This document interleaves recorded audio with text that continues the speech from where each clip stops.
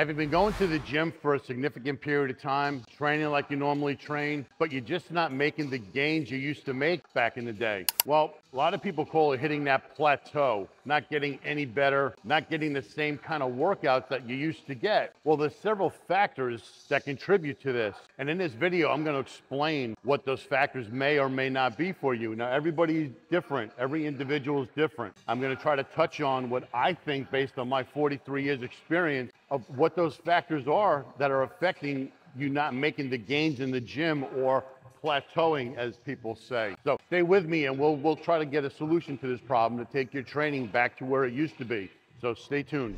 Hey guys, welcome back to Championship Muscle. I believe one of the main factors contributing to you not making the gains in the gym or plateauing, as they say, is probably the way you're training. Are you doing the same thing every time you go into the gym? Is your chest workout the same? You start with bench press, then you go to inclines, and then you go to flies with some cables or a pec deck, and you're done. Is it the same routine? Well, if it is, your body's gonna get used to that, and it's not gonna see any changes. Your muscles are gonna say, here we go again, same shit, different day. You can't do the same workouts every single time you go in and do a body part. You've got to change things up. And what I mean by that is if you're starting on, and let's use chest for example again. If you're starting on a chest day and you usually start with a bench press and you're the six to eight or eight to 10 guy, change it up. Lighten up the weight a little bit and take your repetition range higher. Decrease the amount of time you're resting between sets. Add drop sets. Add high rep sets. Train it to failure. Failure doesn't have a number. That depends on when you shit out and you just can't pump out any more reps. Change up the order of the routine that you're doing. If you're normally starting on bench and then you go to inclines and then, and then cables or flies or pec deck, start with a different movement first. Start with the cables or the pec deck or start with dumbbell benching or dumbbell inclines first. Challenge your muscles. Don't give it the same thing every time you're going into the gym. You got to change up the order. You got to keep the muscles on their toes. Otherwise, they're going to get stale. They're going to get the, here we go again. And that's what you don't want. You want to come into the gym and you want to be able to get that skin splitting pump. If you're not getting the pumps you used to get, like I said before, increase your rep range, lighten up the weight, do those high repetition sets, do high repetition drop sets with a moderate weight. Maybe you're training too heavy. You know, for the younger guys, training heavy is a lot different than the older guys. For younger guys, popping out two or five or two and a quarter on a bench for 10 or 15 is a lot easier than it is for the older crew. So you got to pick the weight that you know that you can handle to get those high repetitions that are going to change the dynamics of your workout. It can't be the same old routine again. You got to switch it up. Another factor is going along the lines of the same shit different day. If you're doing chest and shoulders, why not start supersetting a chest exercise, then a shoulder exercise? Back and forth, try high repetitions.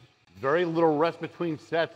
Lighter, lighten up the weight a little bit. Moderate weight, but go high reps back and forth between those two exercises. Blow them muscles up with all that blood.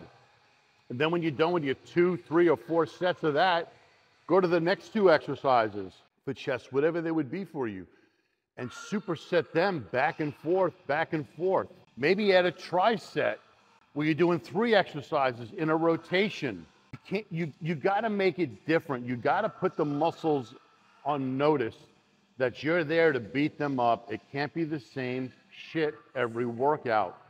Let's say biceps. You start with biceps and you do barbell curls, preacher curls, dumbbell curls. And I'm going to use that example because that's what I do. Those are my main go, my main go-to exercises. And when I train with my training partners, if we're going to do three, three exercises, one guy will start at each station and bang out their repetitions. And then after they're done with that set, we start rotating around and go in a circuit of those exercises. So the guy that starts on barbell curls is going to end on dumbbell. And the guy who starts on dumbbell is going to end it on preacher, and the guy that starts on preacher is going to end it at barbell. You're going to be able to take your training to the next level because your muscles aren't used to that. So then a week later, you do another arm workout. And if you started on barbell curls, go start your shit on preachers. And the other guy starts on dumbbells, and, and then the other guy starts on, on the uh, barbell. Rotate it around, switch it up. Do drop sets that day. Do high rep sets that day. Change it up. If, if you do bis and tris on the same day, do a high rep set or a high rep drop set of barbell curls, go right over to a tricep exercise. Superset a bicep tricep exercise. Then when you're done with your three or four sets, go to another two exercises, superset them, change it up, make it different. I'm telling you, if you're not getting that skin splitting pump in your workouts, it's because you're doing low reps and not enough repetition, and you're taking way too much time in between sets. So I got training videos out.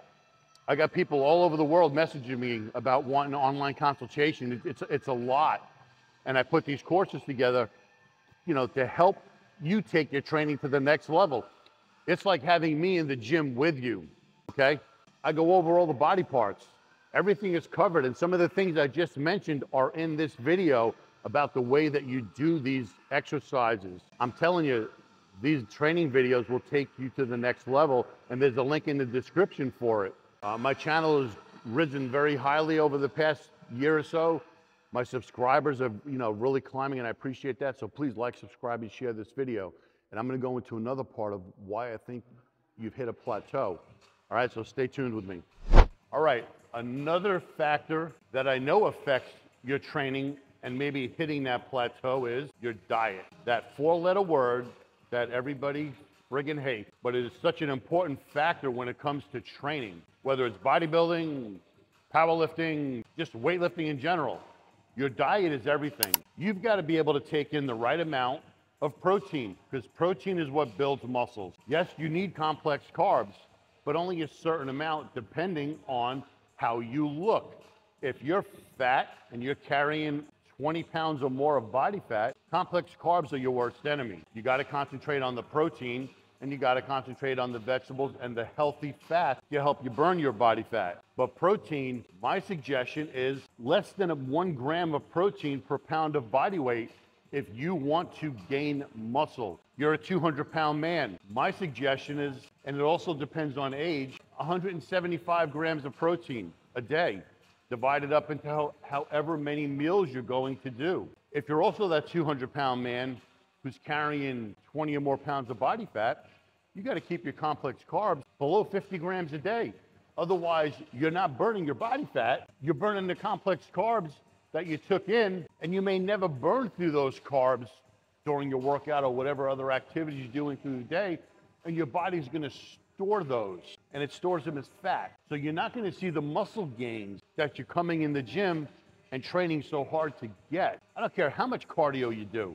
You're not going to burn your body fat if you're taking in a substantial amount of complex carbohydrates.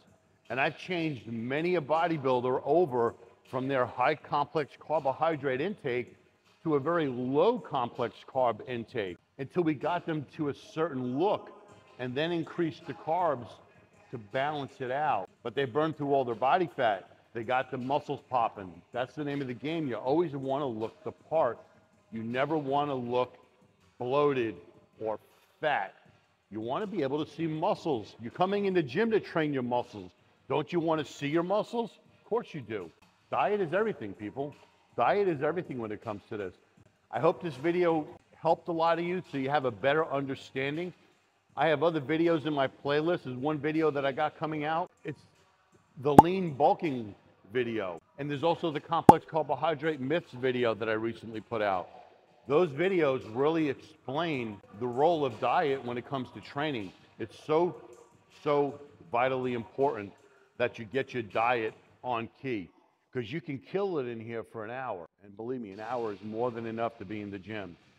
But once you leave the gym and you go out there and every meal's like Thanksgiving, you're really not going to be satisfied with your results because you're going to get fat. You're going to get fat. And please stop watching these videos of these young guys consuming all these calories and all these complex carbs. You don't know the backstory.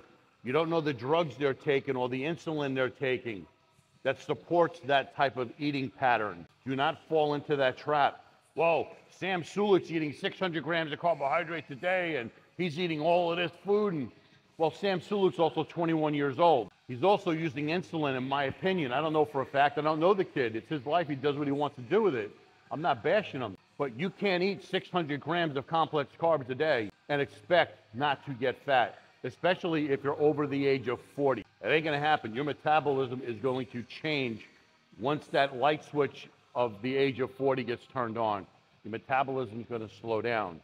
So don't fall into that trap where you've got to consume all these carbs because Sam Sulek says this or Mike Mentzer says that. Different generation, different drug therapy, different training mentalities also, different diet protocols from back in the day to what these cats are doing today.